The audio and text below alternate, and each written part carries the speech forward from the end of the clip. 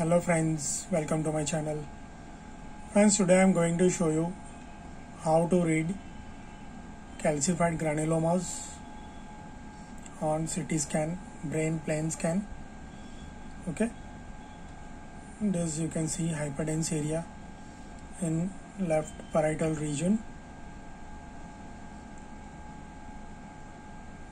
Small hyperdense lesion but uh, there is no surrounding edema. Okay?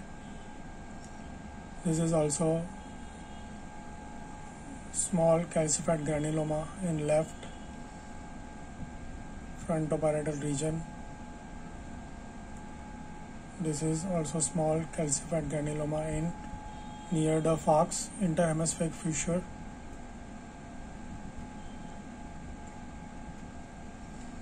I will start again. I will start from top. This is cerebellum. This is temporal lobe pons.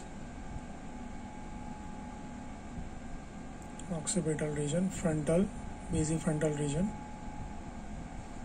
Here you can see another small calcified granuloma. No surrounding edema is noticed if there is edema surrounding the calcification you have to give IV contrast whether to check enhancement pattern of the lesion okay?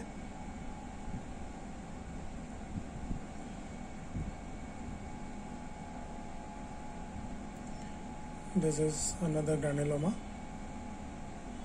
Multiple calcified granuloma patient is having. This is all the lesions are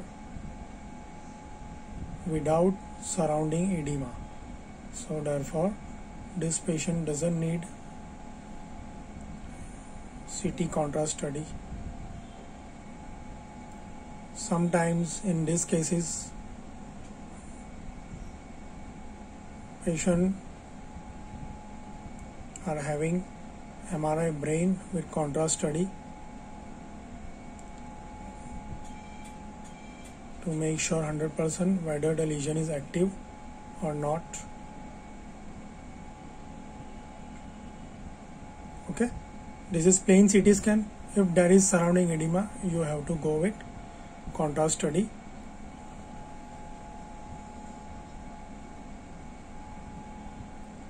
Hope you like my video